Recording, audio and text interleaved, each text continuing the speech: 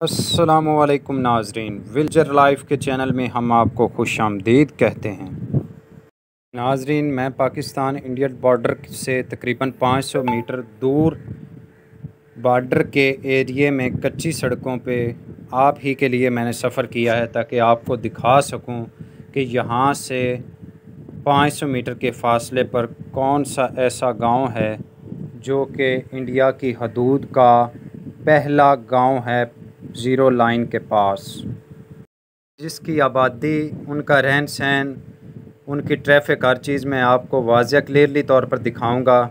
लेकिन मेरी आपसे गुजारिश है कि अगर आप चैनल पर नए हैं तो आपने मेरे चैनल को सब्सक्राइब करना है, लाइक करना है, कमेंट्स करना है, और साथ में जो घंटी लगी हुई है, उसको प्रेस करना है, ताकि मैं जो भी वीडियो अपलोड करूँ, उसका नोटिफिकेशन आप तक बाकायदगी से पहुँच सके।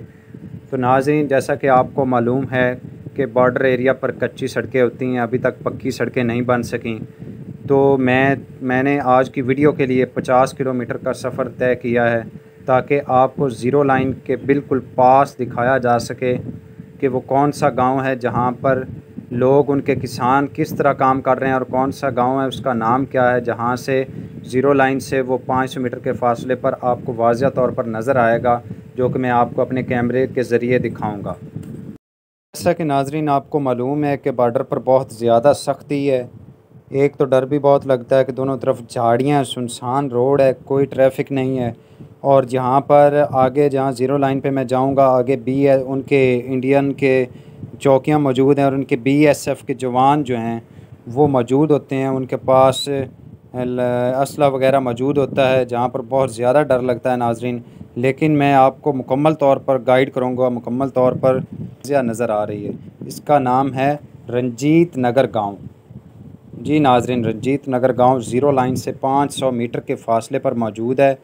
मैं अपने कैमरे के ज़रिए आपको उनका रहन सहन, उनके किसान और वो किस तरह काम कर रहे हैं, उनकी कितनी आबादी है, सब कुछ दिखाऊँगा।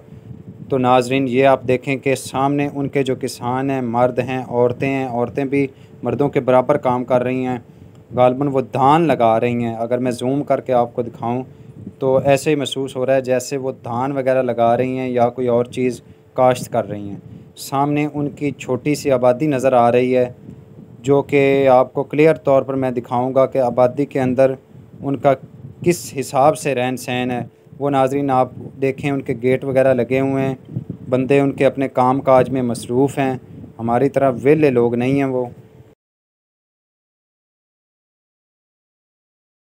काम करना अच्छी बात है, लेकिन आप देख लें कि उनकी औरतें भी मर्दों के बराबर शाना बशाना मेहनत मजदूरी कर रही हैं और धान वगैरह लगाने में मसरूफ़ हैं। नाजरीन, आप देख सकते हैं कि बार्डर का इलाका किस तरह का होता है। ये सर का मैंने यहाँ से बुज़ुर्ग से पूछा, वो बता रहे हैं कि ये सर का कोई पौधा कह लें, ये घास है, ये बहुत तेज़ धारी होती है। ये एक मोटरसाइकिल नाजरीन जा रही है, ये तो पाकिस्तान की ही सड़क है और वो जो आबादी दूर नज़र आ रही है, वो रंजीत नगर गाँव है। जी नाजरीन, इसके साथ ये भी छोटी सी आबादी है और वो उनके जानवर वगैरह भी वहाँ पर बंधे हुए हैं, ट्रैक्टर चल रहा है और वो मोटरसाइकिल पर लोग दूध लेकर जा रहे हैं। तो नाजरीन आप देखें कि मैंने आपको इतनी मुशक्क़त के बावजूद बीएसएफ़ के अगर मैं आगे जाने की नाजरीन गुंजाइश होती तो मैं आगे ज़रूर जाता, लेकिन क्या करूँ कि आगे बीएसएफ़ के जवान मौजूद होते हैं, उनकी चौकियाँ मौजूद होती हैं तो इसलिए आगे जाने की इजाज़त भी नहीं है और हम कानून की ख़िलाफ़ वर्जी भी नहीं कर सकते। जितना हम आपको दिखा सकते हैं, आपको वाजह तौर पर, क्लियर तौर पर दिखाएँगे मौसम आज माशा बहुत अच्छा है, बारिश का मौसम बना हुआ है और बॉर्डर एरिया पर आने का मज़ा आ गया।